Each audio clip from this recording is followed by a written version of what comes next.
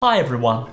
The camera control in a Canvas app can be really, really useful for lots of different scenarios. For example, in this recent video, I highlighted how you could use the camera control when you were doing an on-site registration for a bookings appointment. But it can be a bit of a frustrating control as it's not immediately clear how you can control it with anything other than clicking on the control itself. So let's take a look at what I mean and how you can get around this. So here I've just got a little app where I've got a camera control called Camera One on the app itself.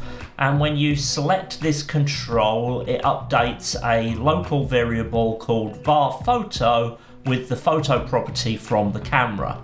And then I've got an image over here, which just draws its image from that var photo variable. So let's just go ahead and take a photo. So I'm going to um, hold Alt to activate my control and I'm going to click on my camera. And you can see that I've got my um, I've got my image over here. And if I move around a little bit and do it again, I can change that image. So I'm just going to go ahead and use this control, which just resets my variable. I'm going to reset that you can see I've cleared that out. I don't have anything there. So let's just set uh, an image here. There we go. So I've got an image here and I'm just going to turn this toggle on and you can see I've added a little button down here with that toggle. All this toggle is doing is changing the visibility of this button. And what this button does, if I look at the on select property,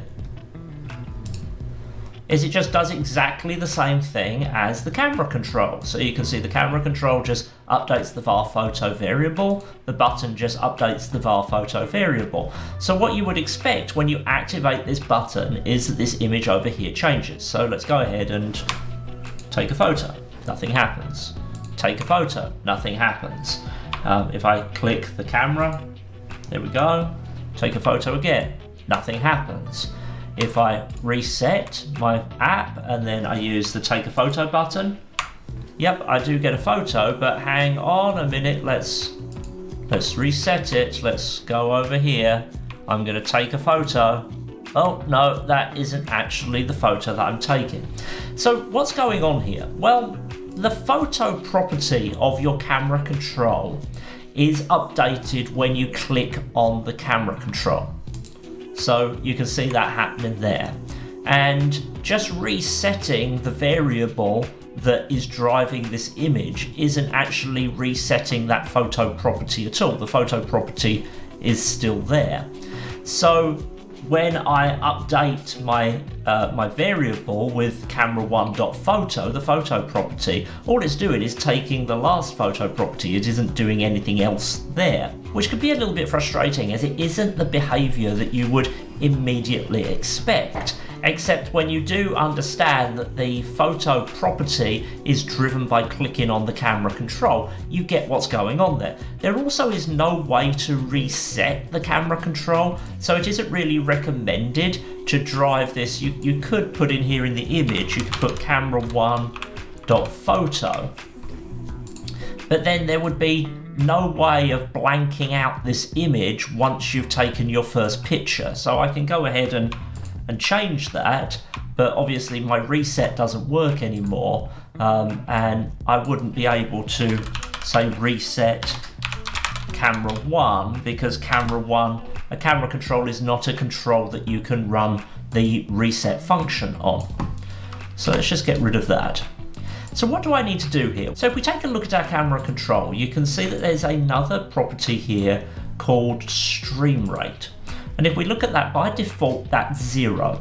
And what this is, is if we're streaming our camera, the image that's on our camera, how often are we doing this? And the minimum is 100, which is one tenth of a second. So for some reason, when you change that, it kind of screws this up. So I'm going to need to create a new screen, jump out of this screen, jump back into it again, um, and then my, my camera returns with my stream rate set to 100. And if instead of doing my uh, camera dot one, uh, my camera one dot photo, I change this to stream, I can have more luck here. So let's just change this to my variable var photo. And I'm going to go ahead and change this photo button to instead of updating the context variable with photo, I'm going to use stream. So now I'm going to go ahead and update and you can see that I now have control over my camera with this button because I'm using the stream property instead of the photo property. So that's really just a quick tip for you. Um, but I was working on a project today where I was using the camera control and I realized this is something that I find useful that I haven't made a video on. Um, so I thought I would make this video as this may be helpful to other people. If this has been useful to you, then please do give the video a like and consider subscribing to the channel so you can see the next time I release a video. In the comments below, I would love to hear the different uses that you've got for the camera control whether having a button to control your camera as opposed to having to click on the camera image is useful to you in the context of the apps that you're building. I hope to see you back here next time. Until then, bye bye.